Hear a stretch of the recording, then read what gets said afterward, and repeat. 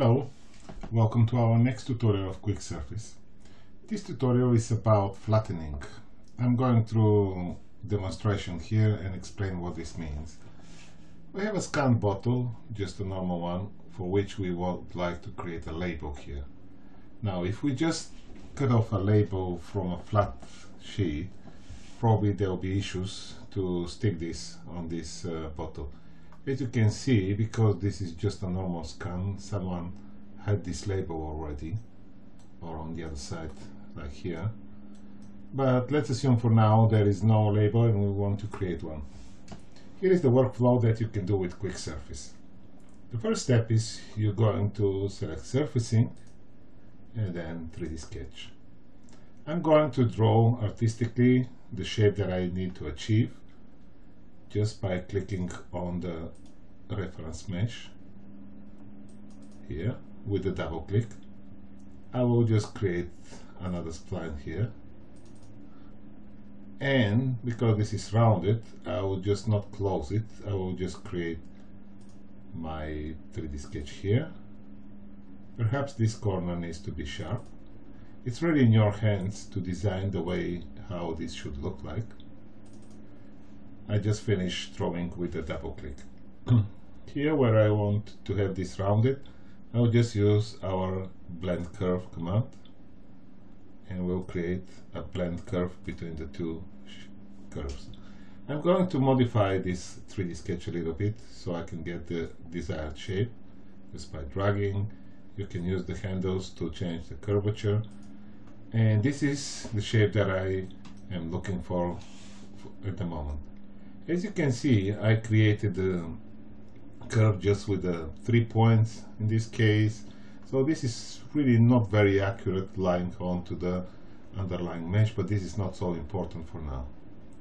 Once I have my design created, I can press OK. The next step that I need to do is actually use our Fill Surface command, which is located under the Surfacing menu or you can find it in our surfacing tab which is located here. I select the fill surface command. Before I continue, I'll just make sure that the select edge chain option is enabled.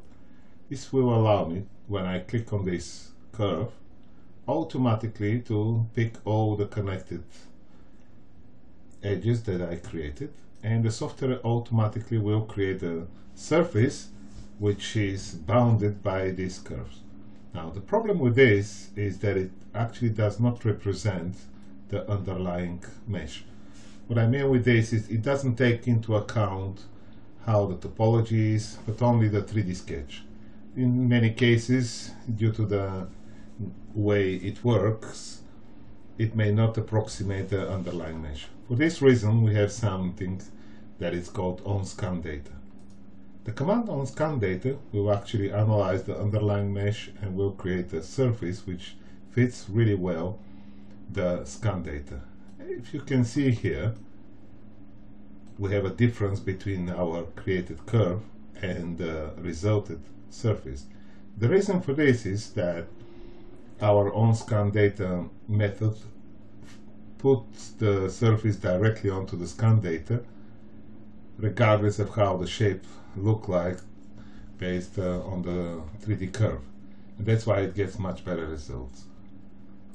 Now you can cancel this and go in 3D Sketch and get closer and redefine your 3D curve, but for now, for the demonstration, I'll just leave it as it is now. I can press OK. If I just go to the main toolbar and press compare, you can see how close I am with the underlying mesh. This is too tight tolerance, so I can probably put it 0.1 millimeter, which is good enough for me to understand uh, the quality of my results. I will just hide for now the 3D sketch, and this is my surface, which looks like the label that I want to print. The next step that I need to take is to actually flatten this. We have a flatten command which is located under the surfacing toolbar or how we call it workspace. The way it works is you just select the surface and then you choose the flatten command. Flatten command doesn't have parameters or so. It just takes and makes the best way to flatten the, the shape that you have pre-selected and the end result is actually a 2D sketch. 2D sketch is just another primitive which is created in Quick Surface and now I'm going just to right click on it and go to edit. As you can see here it created these curves. What the next step should be for me is just to export this for the purposes of 2D applications. I'll just make sure into the options of the export to the sketch that I have pre-selected DXF R14.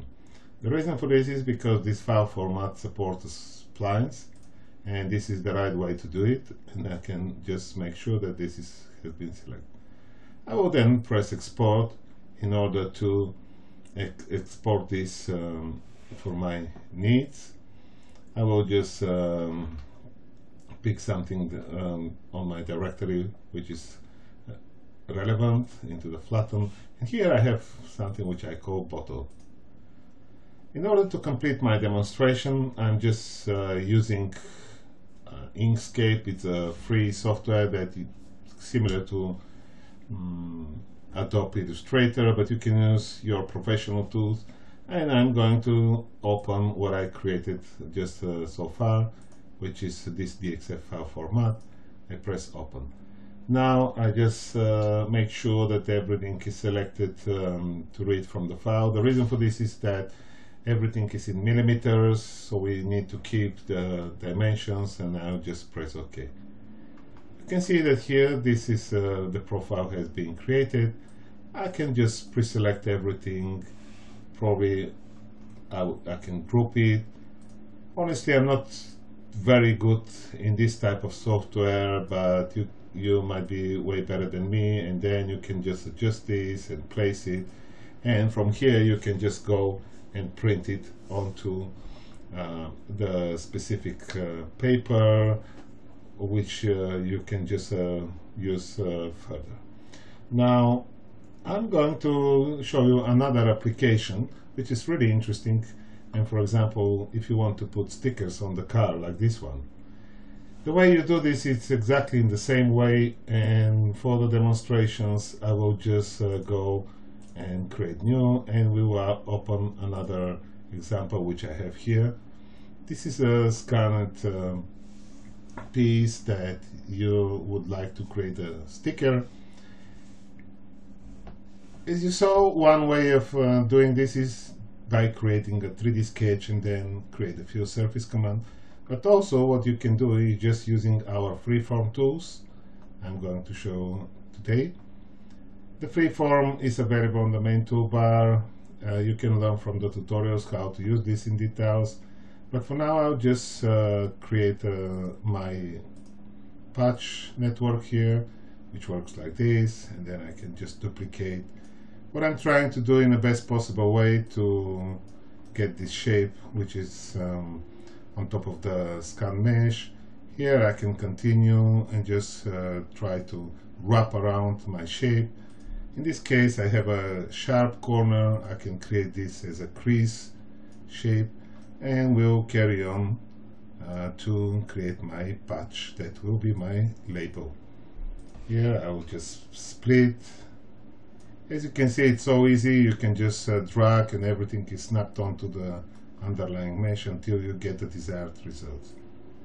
For the purposes of accuracy here if I just uh, evaluate this is really off from my scan data, I can use the tools like, uh, for example, select this edge, press the S command to split.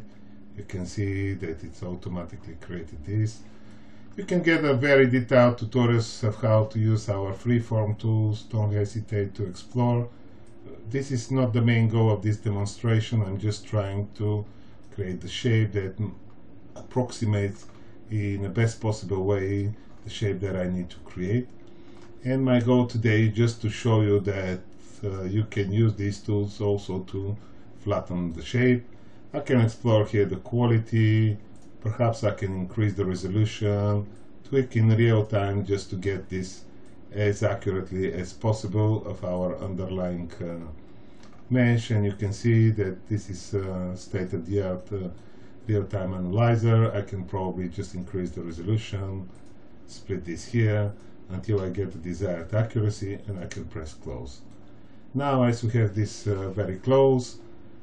The next step if you remember that I can do it just select this one go to surfacing and then press plot you can see that uh, the software took this uh, information and unwrapped and created this as a 2D sketch.